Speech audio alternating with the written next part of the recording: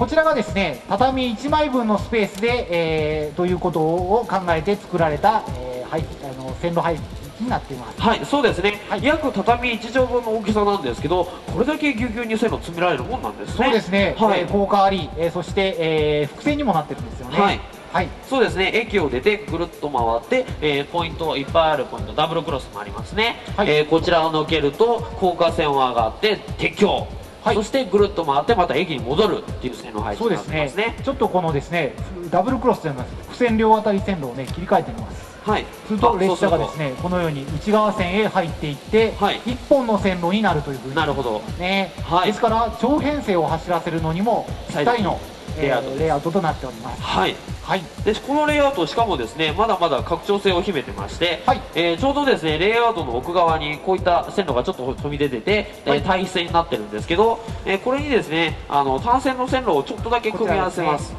はい、はい、えー、こちらをつけますと、えー、なんとですね、えー、はい。えー、どうこちらの内側の線路と、えー、つながりそうな雰囲気になりますね。そうですね、はい、でこのまま行けばおそらくですね駅の手前で内線とくっつきそうな感じになってますね。そうですダブルクロスを渡らせることによって、はい、えー、長編成の走行も可能になるそのようなプランになっております。そうですね。はい、はい、非常な複雑な、えー、背の配置もできるようになっております